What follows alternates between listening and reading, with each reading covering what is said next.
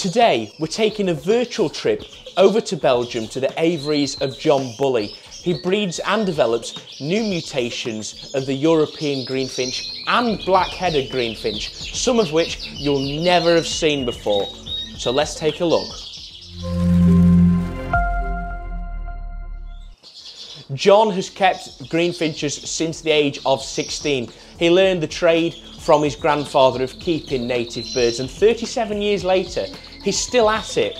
These are some of the mutations and mutation combinations which he currently keeps and breeds, some of which I can guarantee you'll never have seen before and you may not even think that they were possible to exist.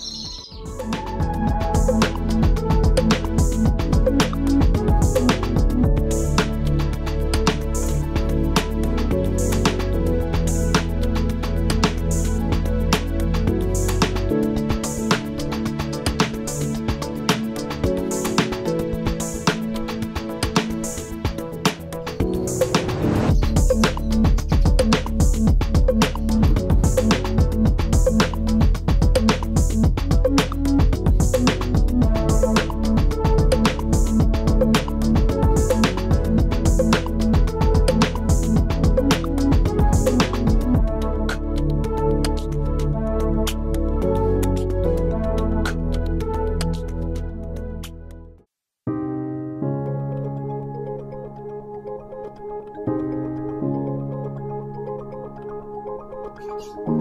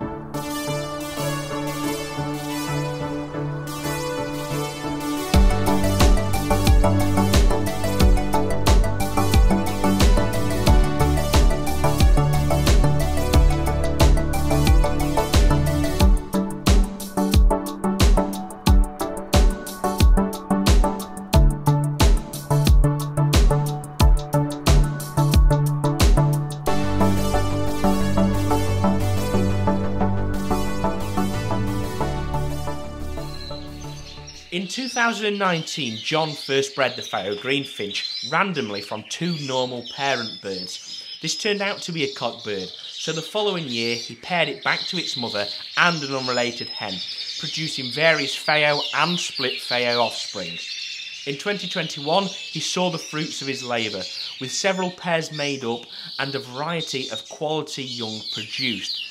He has since combined the line with the brown, also known as cinnamon mutation, giving good depth of colour as well as strong expression of the pheomelanin across the feathers. The pheos have white underfeathers and when they hatch, they have red eyes until they're 10 days old, when they then eventually darken.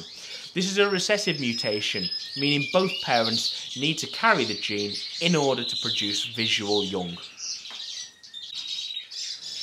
A new mutation John is also working with is known as the Saphira, a dominant mutation which will be combining this year with an agate line. The aim is to produce greenfinches almost completely white, exhibiting no melanin pigment with no yellow either. Something to notice is the difference mutation combinations make. Take for example the dominant yellow agate greenfinch versus the dominant yellow agate citron greenfinch. These are two birds side by side, both cockbirds. One extra mutation is making a huge colour difference, as you can see. John has achieved success breeding his greenfinches in large groups, consisting of one male to multiple hens. Last year, he paired one cock with six hens, and from three clutches each, produced 63 youngsters in total. He gives all his birds two different homemade teas. The first is made by stewing stinging nettle leaves and onion for seven days in a jar of hot water. This makes up approximately two litres of the tonic, which is given for three days every two weeks. Pine tea is also given, stewing pine leaves, pine resin and honey. This is given for four days per month. He's found both of these tonics have boosted fertility, controlled coccidiosis and eliminated black spot. Perhaps it's something that we should be trying. This is John's egg food mix. It contains eggs, biscuit, fresh sprout seed, petit pois, fresh orange juice and pinkies. He also gives rearing hens and eggs to feed their young on, which he collects from the garden. I'm hoping to go and visit John at his home in Belgium during the breeding season and after the molt to look at all his mutation greenfinches in more depth and to look at the rest of the birds that he also keeps because greenfinches aren't the only ones so I'm told. So if that's something you would like to see, make sure you comment down below and let me know your thoughts. So I really hope you have enjoyed today's video looking at mutation greenfinches of John Bully. If you would like to see more from OC Aviary, then please make sure to subscribe down below so you don't miss any more future content. Make sure to follow us on Instagram and Facebook for daily behind the scenes footage of all the birds here at OC Aviary. And finally, if you have enjoyed it today as well, make sure to smash a like on it. So thank you very much for watching and I'll see you in the next one. Take care.